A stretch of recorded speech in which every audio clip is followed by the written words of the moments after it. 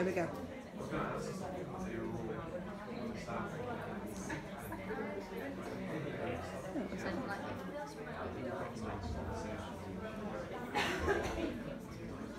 Okay, welcome back for the sequel. Everybody still suitably and properly depressed from the first half? So, I ended the last section on the what the hell do we do question. And that question is where a lot of people are left. And as I mentioned, these types of ideas, they're everywhere. The intellectual terrain is vast. In something like Inception, this is the question of does the top fall or not? That's the ultimate skeptical question of that film. This appears, as I mentioned, in political theory. This appears in aesthetic theory. It appears everywhere. Skeptical problems can infect all manners of thought, all kinds of arguments. To kick off with an example you might find very weird, but it's a good example. And again, I was procrastinating and I watched it and it fit really well and it's really good. So, I don't know how into stand-up comedy people are here. Has anyone ever heard of Jim Jefferies, the Australian stand-up comedian? Yeah? So if you haven't, you may have still seen a YouTube video show up on your Facebook feed or something. He's most famous for, especially did a few years ago, where he talked about gun control in the States. Basically saying how you guys are idiots. And he's right. But at the end of this very famous stand-up bit, he finds himself in a weird skeptical dilemma. So let's see how that works out.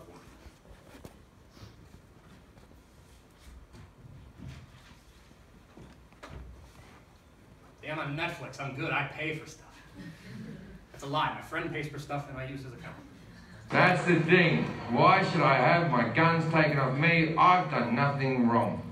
That's look, I agree with you. If you're a responsible gun owner and you don't fuck around with them, then you should be allowed your guns. You really should. But that's not how society works. We have to play to the 1% that are such fuckwits they ruin it for the rest of us. We have to walk as slow as our slowest person to keep society fucking moving, right? I take drugs like a fucking champion, right? We should all be allowed to take fucking drugs, but we can't, can we? Because Sarah took drugs and she stabbed her fucking kids. Ah, oh, thanks Sarah, you fucked it up for everyone, right? Everyone should be allowed to drive their car as fast as they can do it, right? But we can't because Jonathan got drunk and ran over a family. Thanks, Jonathan! Now I have to drive at 30, you fucking idiot!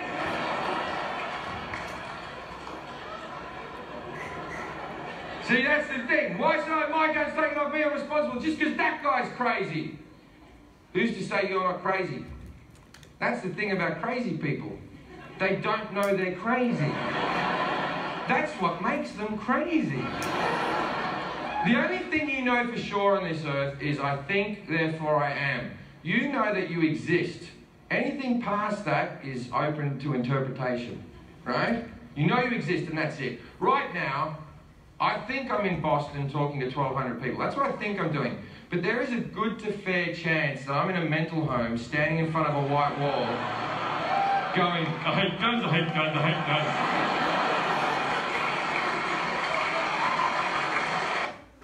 It's hard to find this online, but if you have Netflix, this is a good special.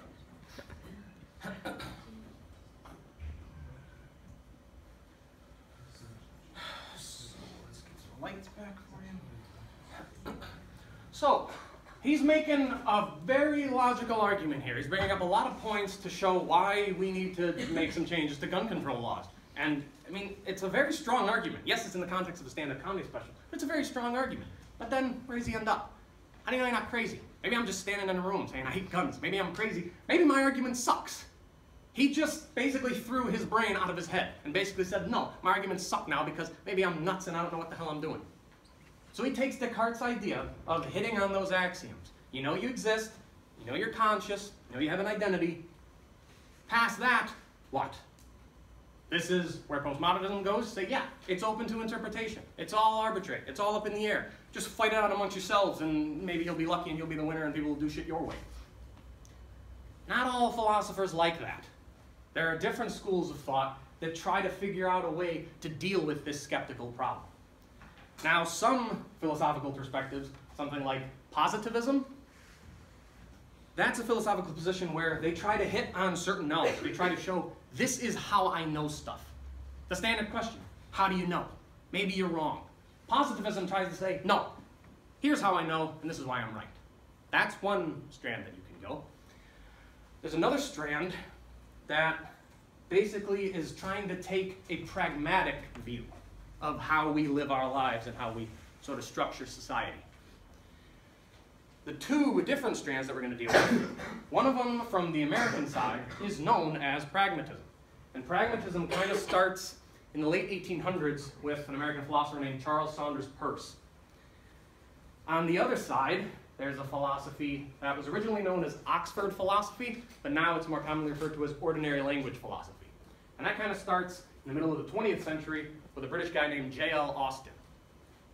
An important bridge between those two traditions is the German philosopher I mentioned in the first part, Ludwig Wittgenstein.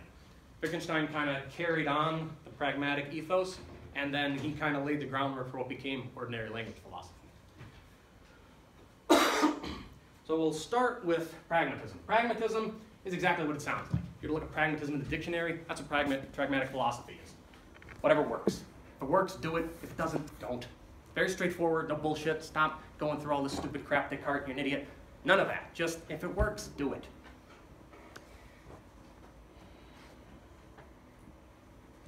And for Peirce, this is a quote from The Fixity of Belief. That is an essay. That is one of your secondary readings if you feel like talking about pragmatism at some point. In The Fixity of Belief, Peirce says, Logicality in regard to practical matters is the most useful quality an animal can possess and might therefore result from the action of natural selection. So you can hear in that type of language a kind of evolutionary perspective. Peirce kind of follows a thread that nobody else really picked up on in Descartes. I mentioned that Descartes was a religious man, but he was a scientist first and foremost. And Descartes makes a lot of mention throughout the meditations of following what he calls the natural light or common sense. He tries to find, maybe there's just an intuitive understanding. He was sort of like a proto Darwinian. And it's important that he calls it the natural light, not the supernatural light. The natural light, just something in there, something in humans.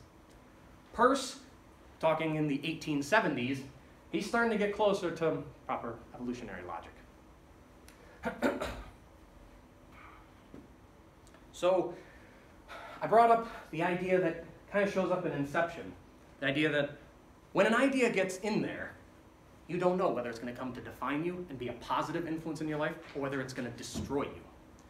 This type of an evolutionary logic, you can see that in Descartes, where he kind of had trust in a self regulating mechanism.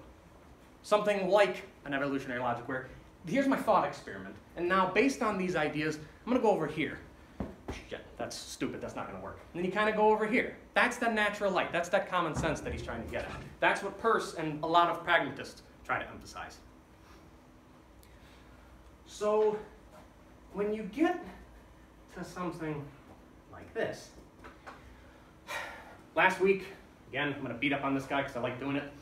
You saw the name on the slide, Jacques Derrida. Jacques Derrida is a French philosopher of the 20th century. He came up with something that became known as deconstruction. That's another paradigm for you. Professor Bowman will steer it in a more positive direction, but for me, I hate deconstruction. And deconstruction is steeped in skepticism, and it was very influential as sort of a philosophical foundation for what became postmodernism. In 1982, a man named Jonathan Culler wrote a book on deconstruction. And in that book is this quote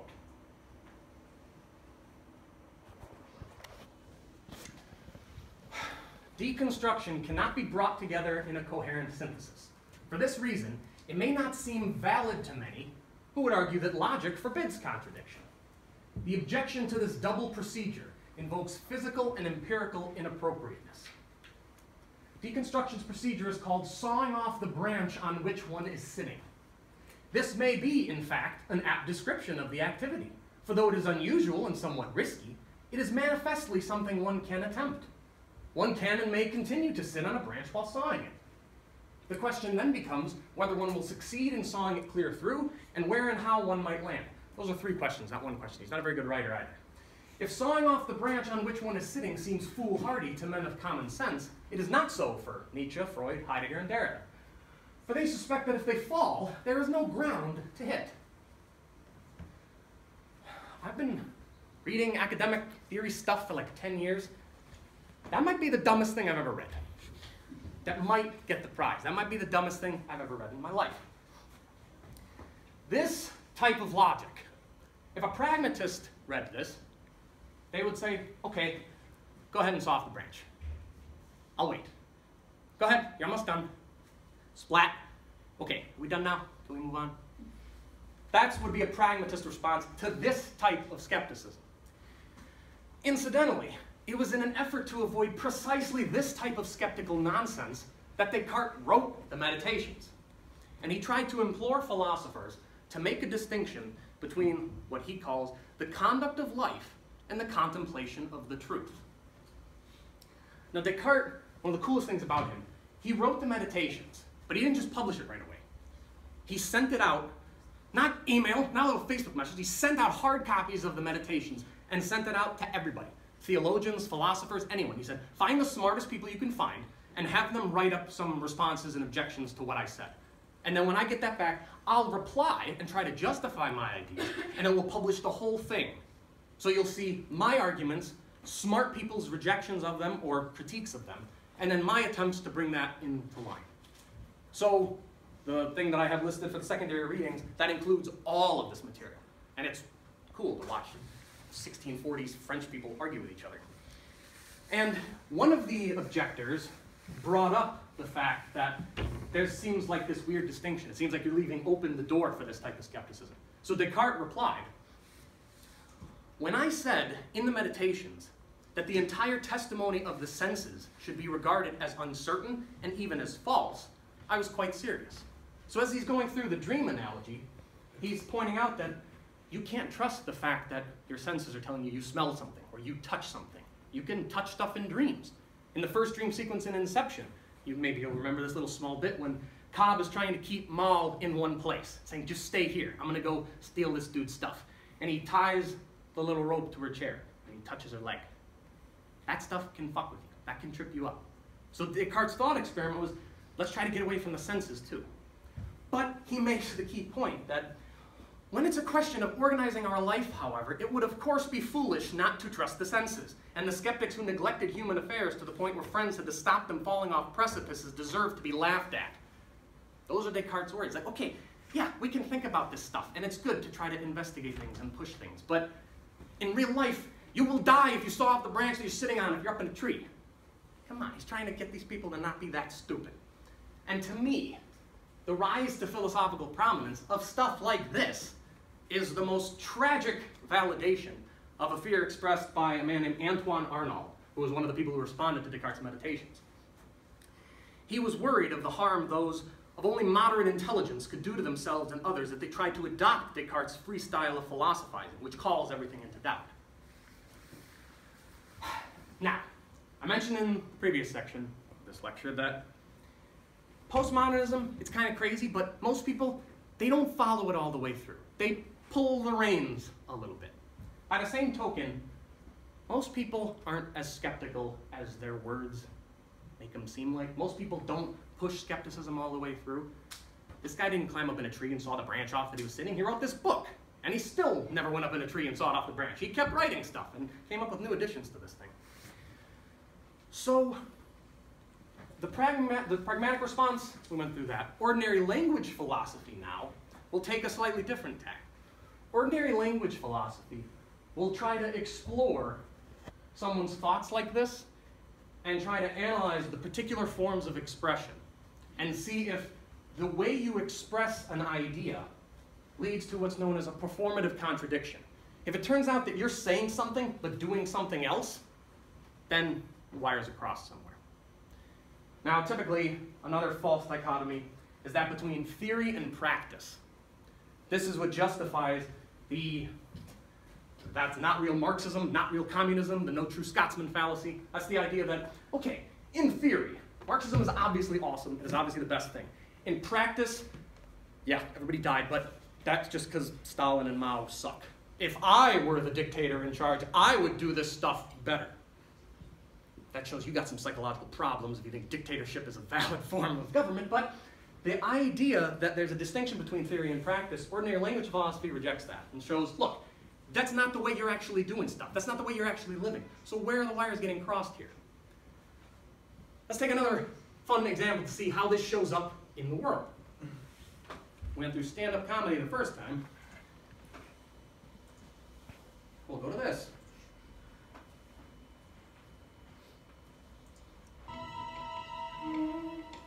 All right, we'll just tell Chris he's dreaming because I don't want him to know about my time machine. Why not? Yeah, it's like having a pickup truck. Once people know you got one, there go your weekends. Chris, can you hear me? Huh? You're dreaming. Dreaming? Yay, no consequences! so lifelike! All right, let's go back six minutes and try this again. Chris, you're dreaming with consequences. What? That's right. So, remember that name Adorno from last week, the high culture snob? He is rolling over in his grave right now, doing philosophy with Family Guy and stand-up comedy. So, for some ordinary language philosophy, a little ordinary language philosophy breakdown of that. This is the stuff that Lud- Ludwig Wittgenstein specialized in. This is what he made his living doing.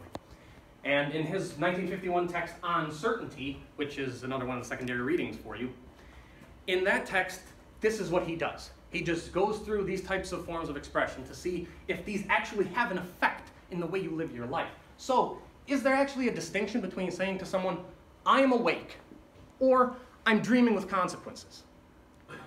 What's the difference? Is there a difference? If there isn't a difference that has a carryover to the way you conduct your life, is there a point, or is that just a distinction without a difference? As a skeptic, you can say, yeah, I'm dreaming, but I'm not going to start shooting people because I might not be dreaming and I don't want to spend my dream in jail. That seems to be sort of silly logic, and that's the type of stuff that Wittgenstein tries to investigate. So in On Certainty, this is an example that he uses. if I make an experiment, I do not doubt the existence of the apparatus before my eyes. If you're trying to see something through a microscope, you're not going, the microscope might not be here. No. I have plenty of doubts, but not that. If I do a calculation, I believe without any doubt that the figures on the paper aren't switching of their own accord. If you're trying to do 7 plus 2, as you're writing, it's not going to turn into 17 times 56. And I also trust my memory the whole time, and trust it without any reservation. The certainty here is the same as that of my never having been on the moon. But imagine people who were never quite certain of anything, but said that various things, like never having been on the moon, were very probably so, and that it did not pay to doubt them. Such a person, then, would say in my situation, it is extremely unlikely that I have ever been on the moon. How would the life of these people differ from ours? For there are people who say that it is merely extremely probable that water over a fire will boil and not freeze, and that therefore, strictly speaking, what we consider impossible is only improbable. What difference does this make in their lives? Imagine someone who's supposed to fetch a friend from the railway station and doesn't simply look the train up in the timetable and go to the station at the right time. He says, I have no belief that the train will really arrive, but I'll go to the station all the same. He does everything that the normal person does, but accompanies it with doubt or with self annoyance. Could you imagine living like that? What a shitty way to spend your time. That would could drive a person crazy. Are you thinking of Mal and Inception right now? Because I hope so. So, there's a contemporary American philosopher named Stanley Cavell. Stanley Cavell wrote a book in 1979 called The Claim of Reason. That is another one of your secondary readings. Cavell was taught ordinary language philosophy by J.L. Austin at Harvard in the 50s. And Stanley Cavell, in The Claim of Reason, makes the case that if you follow skepticism through, if you let these type of ideas poison your mind, if you start to conduct your life with very skeptical and nonsensical and irrational habits of mind, the end point of the condition that he calls living one's skepticism, the end point is insanity. You'll drive yourself nuts. If you try to live like that, you will end up in a room saying, I hate guns, I hate guns. You will end up in a rubber room. You'll lose your mind. But again, remember the point I brought up in the beginning. What Descartes realized was Maybe skepticism isn't something out there that you defeat. Maybe skepticism is something inside. Maybe it's that little voice in your head that doubts that you have to be constantly vigilant against. so, I brought up Mal from Inception. Inception, to me, is the ultimate skepticism movie. It lays things out so clearly. All the ideas that I've brought up here, they're in Inception. Christopher Nolan is working his way through centuries of philosophical thought. And to sort of start bringing this together and start working our way into Inception, so we'll be able to continue to argue about the movie and what the top falls in the seminar, we can move to watch a clip from it. Now, I'm sure you've all seen Inception a thousand times. I'd be surprised if anyone saw it more than me. I saw it in theaters six times on its first release, and that doesn't even count the millions of times I've watched it since. I think Inception is the best movie of the 21st century, and I stand by my claim from the first week of the lecture that it's the coolest movie that we're dealing with this term. It's just awesome. So the clip that we're going to watch is, to me, the key philosophical sequence. I'd love to show you all two and a half hours of the movie, but we don't have that kind of time. So this scene we're going to watch is after Cobb and Ariadne have gone into limbo, and they've gone after Fisher. And Cobb confesses that Mal committed suicide as a result of his performing Inception on her.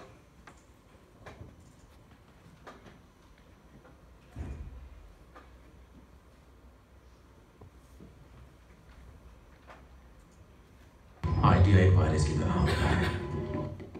Fuck. Is that English?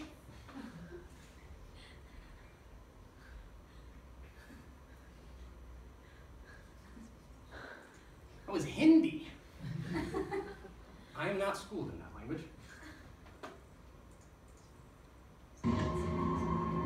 Highly contagious. The smallest seed of an idea can grow. It can grow to define or destroy you.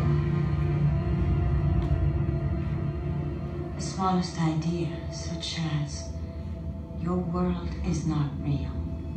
A simple little thought that changes everything. So certain of your world, of what's real, do you think he is? Or do you think he's as lost as I was? I know it's real, Mal. No creeping doubts. Not feeling persecuted, dumb, Chased around the globe by anonymous corporations and police forces. The weather projections persecute the dreamer. Admit it. You don't believe in one reality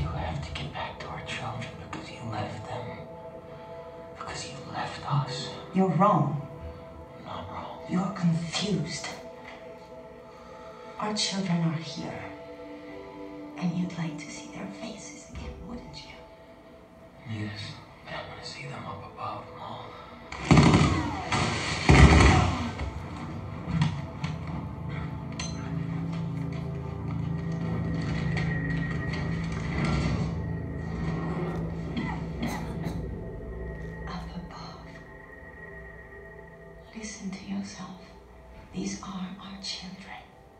Watch. James? Philippa? Yes, Mom, please. Those aren't my children. You keep telling yourself that, but you don't believe No, it. Oh, I know it. And what if you're wrong? What if I'm what's real? You keep telling yourself what you know. But what do you believe? What do you feel? Guilt. I feel guilt, Mal. No matter what I do, no, no matter how hopeless I am, no matter how confused, that guilt is always there, reminding me of the truth. What truth? That the idea that caused you to question your reality came from me.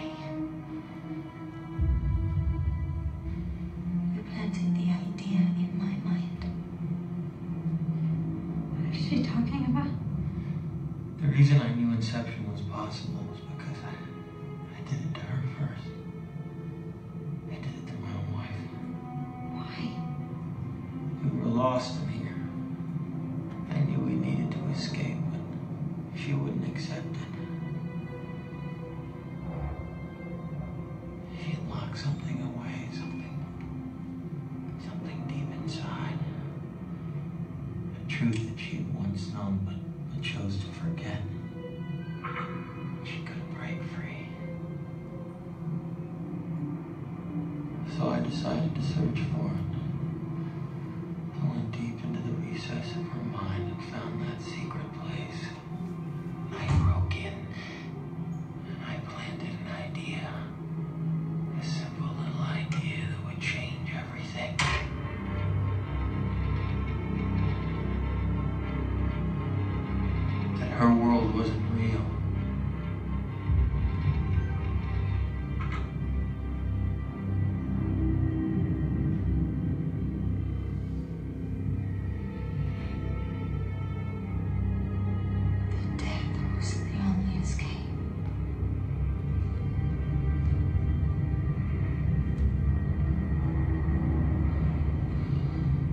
Waiting for a train. A train that'll take you far away. You know where you hope this train will take you. But you can't know for sure. And it doesn't matter.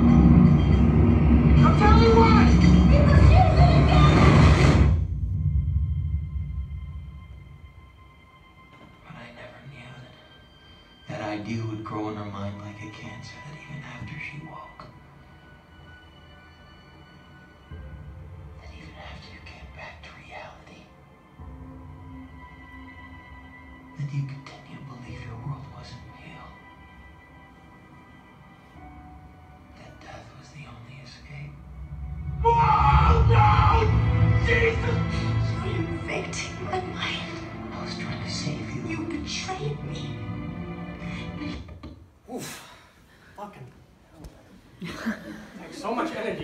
pause on it.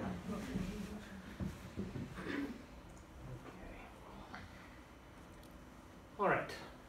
Now we can it home. So, most of these lectures, you get the ideas, and then you're trying to sort of connect it to the movies. For what's left, I'll kind of give you like a little bit of a reading. Show like for when you do your presentations or write your essays, sort of how to break down a movie from a different, from a particular perspective. So, when I first watched this movie, I never read Descartes. I didn't know who Charles Sanders Peirce was. I never heard of Wittgenstein. If I read that name, I'd probably say Wittgenstein or Wittgenstein.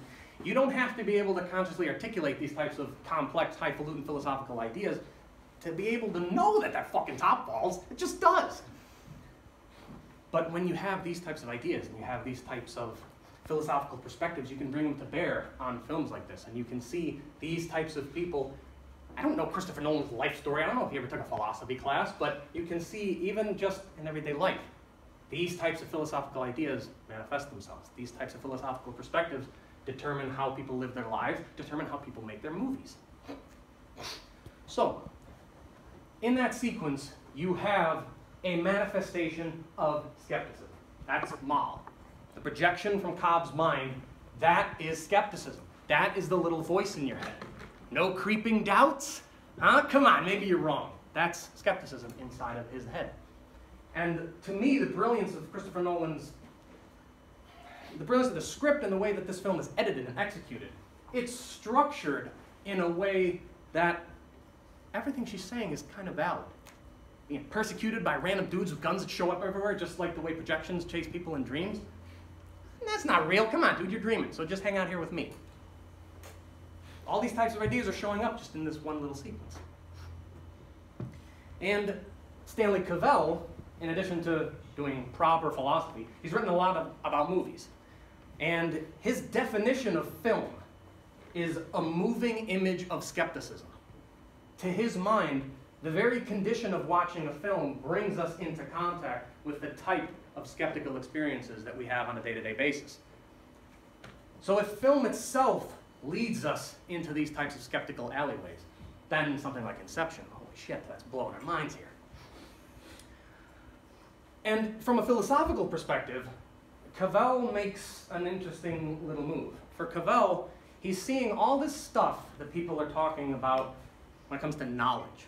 What you know, how you know it, how can you get certainty, maybe you're wrong, all this stuff.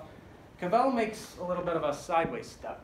And his hypothesis is that maybe it's not about knowledge per se. Maybe it's about acknowledgement. Little play on words, he's an ordinary language philosopher. So maybe it's not about coming upon things that you were once ignorant of, not coming to new knowledge. Maybe it's just acknowledging what you already know, what you can't not know. You can't not know that you exist. You can't not know that you have a brain. You can't not know these things. But what happens is you become like Mal. You lock something away that you once knew. You let your mind wander, and you keep that shit in the safe. Mal in this film refuses to acknowledge reality. That's her dilemma. That's her problem. And you can think back to the Alan Watts video that we watched at the beginning. He goes through this entire process. He goes through the entire limbo experience that Cobb and Mal went through together. They were there. They were gods. They were building giant things. Eventually, Cobb got bored. He's like, this sucks. It's not real. I want to go back up. It's been 50 years here. Let's go. We're old now. Let's go back to reality. It's like if you're playing a game with your friends and they let you win. That's not that fun. It's better when they try as hard as they can and they're huffing and puffing and you say, yeah, I'm better than you. That's better. That's more fun. That's reality. That's what Cobb wanted. That's what Mal didn't want. She didn't want that. Said, no, I'm happy here. Leave me alone. In my world of film studies, the most prominent Christopher Nolan scholar is a man named Todd McGowan. Todd McGowan wrote a book on Christopher Nolan and the Inception chapter was titled A Plea for the Abandonment of Reality. And he says that Mal is the hero of the film. Talk about missing the fucking point. That's like saying Tyler Durden is the hero of Fight Club and that the critique of consumer culture is the best part and is the point. Did you watch the same movie as me? That's kind of, and this also, by the way, keep this stuff in mind in the future when you get to stuff like Blade Runner and you're dealing with things like post structuralism, these types of questions which film do we watch? Is there only one film? These are things that we can argue about in the seminar if you think the top falls or if you think Tyler Durden is the hero of Fight Club. But for me, Mal is the villain. And Cobb's heroic triumph, the reason that the music swells at the end, the, reeling, the reason that you feel that uplift, is because Cobb acknowledges reality. The title of anything written on Inception should be the, a plea for the acknowledgement of reality, not the plea for the abandonment of it. and the way to do that is to cultivate a strength of mind, a strength of will, a strength of character. calibrate those two things that are sometimes at war with each other, what Descartes calls the intellect and the will. One of Descartes' French contemporaries named Blaise Pascal, a little bit after the meditation was published, he wrote something called The Art of Persuasion. And he talked about how in every human being, there is a war between the intellect and the will. And it's bloody and it's constant. But if you want to reach the point that Cobb reaches at the end of Inception, you've got to be able to align those things. You can't let your mind wander. You've got to be able to pull on those reins. And it takes strength to do that. But notice, like I was talking about, the structure of Inception. Notice the mirroring and the repetition here. Cobb in this sequence is brought to make is brought to the point where he has to make the exact same choice that he made before. He was in limbo, he didn't want to be there, so he got the hell out. In doing that, his wife died. That hurts. That is painful as fuck. You have to be strong as hell to be able to hold on to your mind after something like that. Here he's faced with the same opportunity. You see in the sequences when he's riding up the elevator of his memories, his regrets, the things he has to change. He didn't change that memory. He made the exact same choice. But she's saying, you're just talking about what you believe. He says, no, I know. He's certain here. He knows. And he makes the same choice. And that takes the kind of strength that Charles Sanders Peirce talked about. Peirce says this in the same essay, it's part of your secondary readings. A clear logical conscience does cost something, just as any virtue, just as all that we cherish costs us dear. But we should not desire it to be otherwise. The genius of a man's logical method should be loved and reverenced as his bride. She is the one that he has chosen, and he knows that he was right in making that choice. And having made it, he will work and fight for her, and will not complain that there are blows to take, hoping that there may be as many and as hard to give, and will strive to be the worthy knight and champion of her from the blaze of whose splendors he draws his inspiration and his courage. Cobb is staring into the eyes of the woman he loves, the love of his life, the woman he had to watch jump from a fucking window and watch die. But that's just a projection. That's just his guilt. That's not his bride. He's not going to complain that there are blows to take. He's going to hold on to his mind. He's going to hold on to that certainty. He's going to get back up above. He's going to be back with his kids, and everything will be okay again. That's this type of logic. That's the type of logic that you're seeing work out in Inception. That's the type of lesson that Christopher Nolan is working his way through. And that type of logic, this stuff, you see this everywhere too. We've already watched stand up comedy, we've already watched Family Guy. Now we can watch something where you see another rendition of this trajectory that you see in Inception.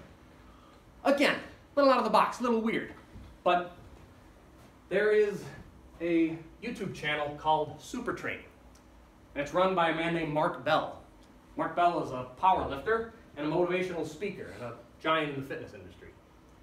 And he made the following video.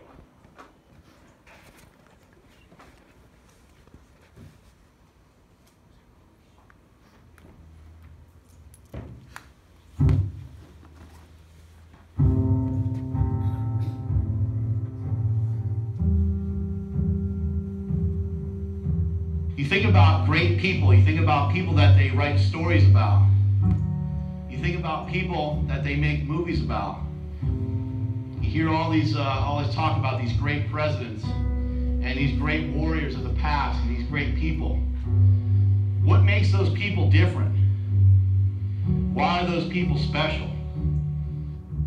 Those people are known and their legacy lives on even after they're dead for one reason. It's because they are fucking original.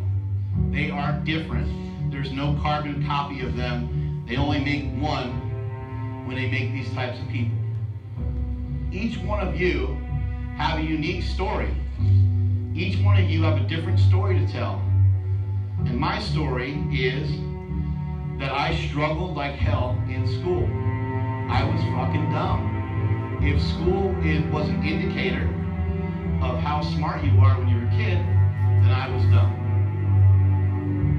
If making money is an indicator of kicking ass as an adult, then I am currently kicking a lot of fucking ass. And the only way I was able to do that was through building confidence in the gym. It may not be that powerlifting saved your life like it has with mine, it may not be that powerlifting changed your life forever, but the dedication to the weights should mean something more, than, more to you than just lifting weights. You're not trying to just make yourself strong on the outside, make yourself big on the outside. We're trying to create a better person. Each and every day, we are, we are faced with a lot of resistance. We're faced with a lot of negativity. What do we have in our lives that's positive? one thing that we can control is working on ourselves. I'm a motivator, but I'm not a magician. I can't fix your problems. I can't fix your problems. You have to fix your own problems. But you can't ever be satisfied with what you're currently doing. Satisfied athletes suck. Write that down. You have to embrace strength as a lifestyle. If you want to be good, it's only going to take a little bit of work, a little bit of coaching. Anyone can be good. But if you want to be great, if you want to be special, if you want to try to get to that next level, it's going to take that much more effort. You're going to have to really go way out of your way towards making yourself great.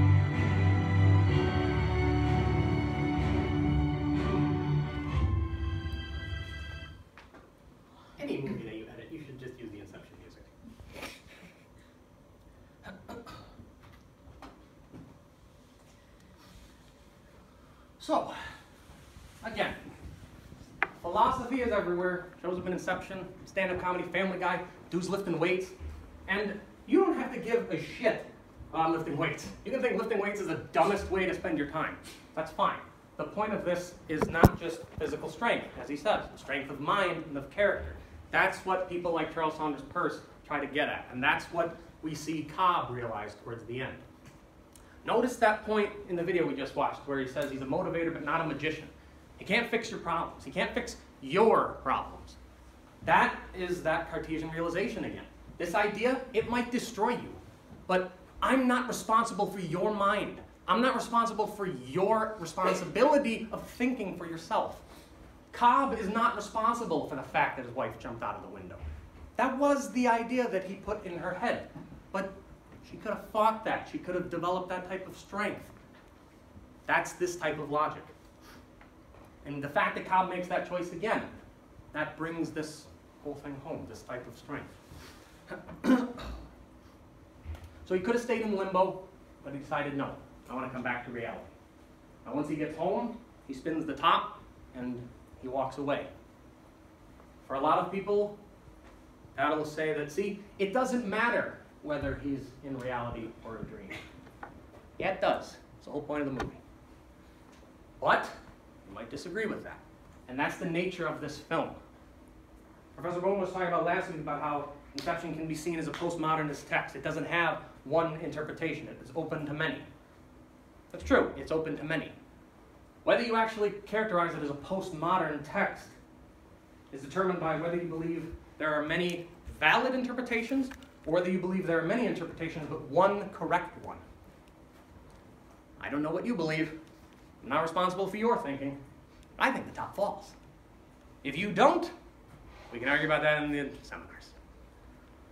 So that's pretty much all I've got. I'll just say at the end here that this was the first time I've ever gotten a lecture, so thank you for coming here and participating and watching this crap. It's talking about Inception, so you guys helped make a dream come true for me, so thank you.